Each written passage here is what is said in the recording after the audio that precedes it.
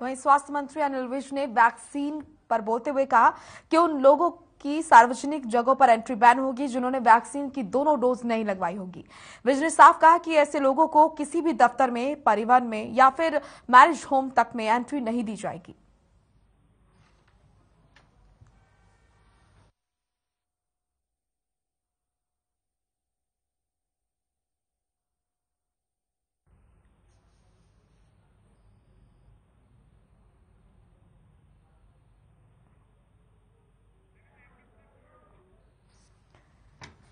तो विधानसभा के शीतकालीन सत्र का चौथा और आखिरी दिन आज रहा और ऐसे में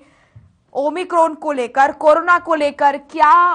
तैयारी है सरकार की? विपक्ष ने सवाल किया, क्या ब्यौरा है? तैयारियों को लेकर सवाल किया तो ऐसे में स्वास्थ्य मंत्री अनिल विज ने बताया कि किस तरीके से क्या कुछ उनकी तैयारियाँ, उनकी सरकार की तैयारी उन्होंने बताया कि जो दोनों डोज वैक्सीन के लेंगे, उनको ही जो भीड़ भाड़ वाली जगह होंगी, वहाँ पर एंट्री मिलेगी, चाहे वो मैरिज हॉल हो या फिर दफ्तर हो या फिर परिवहन हो, इन तमाम जगहों पर एंट्री बैन की जाएगी उन लोगों की जिन्होंने वैक्सीन के दोनों डोज नहीं लिए होंगे। तो स्वास्थ्य मंत्री अनिल विज ने वैक्सीनेशन पर बोलते हुए कहा कि उन लोगों की सार्वजनिक जगहों पर एंट्री बैन होगी जिन्होंने वैक्सीन की दोनों डोज नहीं लगवाई है। विज ने साफ़ कहा कि ऐसे लोगों को किसी भी दफ्तर में, परिवहन में, यहाँ तक कि मैरिज होम तक में एंट्री नहीं दी जाएगी।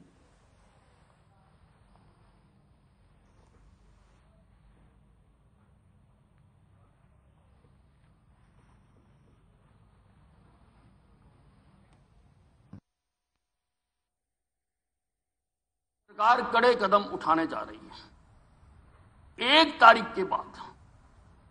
जिसके दोनों इंजेक्शन नहीं लगे हुए होंगे, उसको किसी मैरिज हॉल में, किसी रेस्टोरेंट में, किसी होटल में, किसी मॉल में, किसी दफ्तर में, किसी बैंक में जो और भी जहाँ जहाँ पर लोगों के ज़्यादा होने की संभावना हो सकती अगर आप गेंद में पढ़ के सुना सकते हो सारा, लेकिन हम जर्नली समझ गए कि जहाँ जहाँ पर है, वहाँ पर जिसको सेकंड डोज दोनों डोजें नहीं लगी हुई हैं बस में,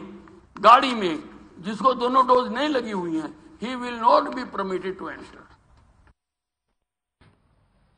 तो ये विधानसभा का शीतकालीन सत्र चौथे दिन हंगामेदार रहा।